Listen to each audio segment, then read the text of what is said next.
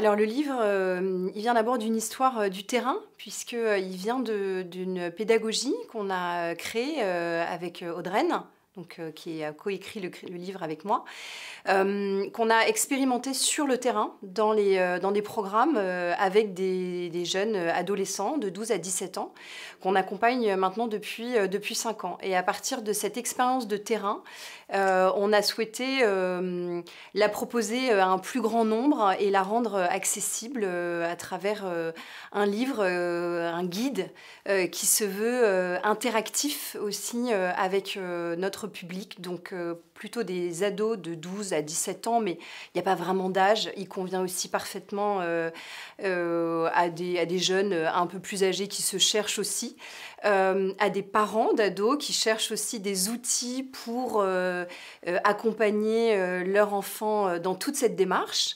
et pourquoi pas des professionnels de l'orientation, de l'accompagnement, qui, qui sont aussi curieux de découvrir des outils et, une vision aussi euh, un peu différente peut-être de, l'orientation.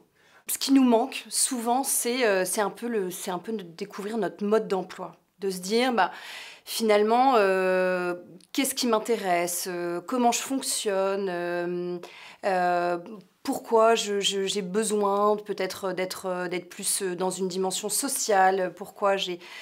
Enfin voilà, de, répondre et de trouver son mode d'emploi on s'est rendu compte qu'on a ces outils, euh, on a cette démarche, et donc on a, on on a décidé de la, transmettre.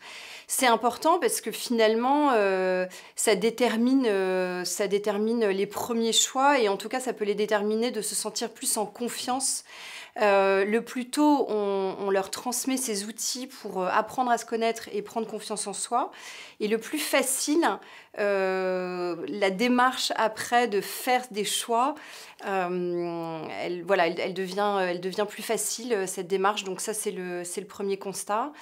Le deuxième, c'est la relation à l'autre. Ça, c'est ce qu'on expérimente, nous, dans les programmes, dans, dans les colonies de vacances, hein, notamment, qu'on propose avec ces contenus c'est qu'aujourd'hui, euh, il y a un sujet de société, de vivre ensemble, du regard de l'autre, qui est de plus en plus important et qui peut même être un, frein euh, pour de nombreux adolescents. Donc, euh, c'est ce qu'on a aussi voulu transmettre dans le livre. Et la dernière partie, bah, le monde qui nous entoure, parce que c'est essentiel aujourd'hui de, développer la curiosité des jeunes, de développer leur esprit de questionner ce monde. Euh, face euh, à la révolution euh, technologique et à la révolution écologique auxquelles ils sont confrontés. C'est les piliers un peu de notre pédagogie et qu'on retrouve dans le livre.